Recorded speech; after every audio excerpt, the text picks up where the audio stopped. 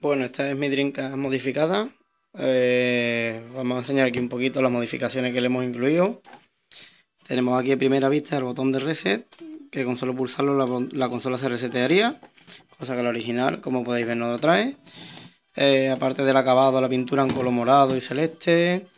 Eh, hemos incluido, no se ve aquí bien con la sombra, ahí en esos orificios de ahí tenemos unos LED que eh, chivar lo que es la lectura del header-ROM.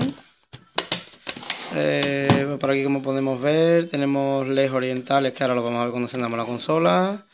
Eh, salida VGA, salida para audio RCA y salida para jack, también para micrófono. Eh, lo que es las cogidas, las conexiones originales de, de, la consola las he eliminado. Aquí con idea de que pondré más para adelante la modificación del, de la tarjeta SD para poder cargar los juegos en ISO. Y en fin, y poco más. Vamos a encenderlo un poquito para ver la diferencia con la original.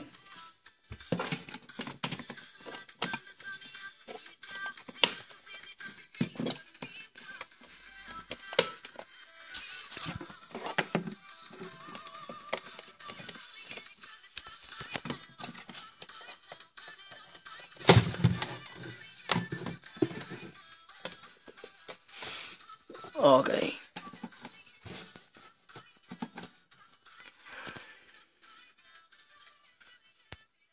Bueno, he apagado la luz para que podamos ver la diferencia en lo que es el tema de LED, de iluminación. La consola original, como la podemos ver aquí, es un piloto naranja original. Y aquí tenemos la modificada, ahora mismo no tenemos ningún juego metido. Siendo el LED en azul. El lateral se enciende en azul, como podéis ver. Vamos a ponerle a conectarle uno de los mandos. Ahí la podéis ver que está encendida. Ahí está. Si pulsáramos el botón de reset, como ya he bien dicho, la consola se resetearía. Ahí está. Y vamos a meterle un juego para que veamos el tema de la lectura.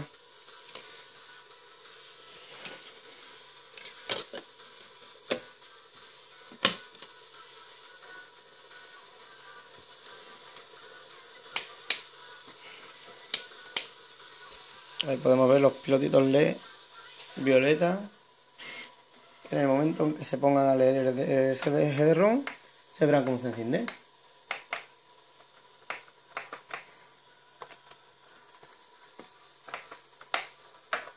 Le damos al juego.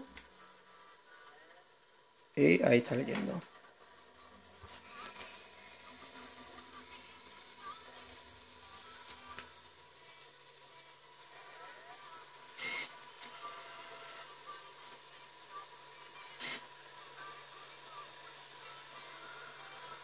Ahí se puede ver.